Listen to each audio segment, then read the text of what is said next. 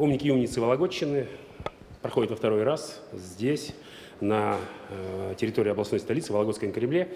И э, с каждым годом, я надеюсь, что третий, четвертый раз, он вызывает все больше и больше интереса. Интерес колоссальный. В прошлом году 500 участников, в этом году в три раза больше 1500 участников. Да ладно? 1500. Поэтому, вы знаете, э, проект состоялся.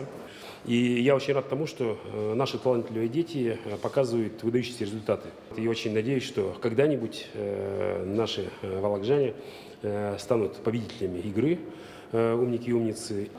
Я очень рад тому, что Юрий Павлович, идейный вдохновитель, опять с нами здесь, на Вологодчине. И я искренне вас приветствую, я очень рад общению. В декабре, когда мы записывали передачу на Первом канале, э, было великолепное интервью. И я сказал очень много теплых слов про Вологодчину. И я вам искренне благодарен за то, что вы опять приехали на Вологду. А в следующем году я вас приглашаю в Великий Устюг.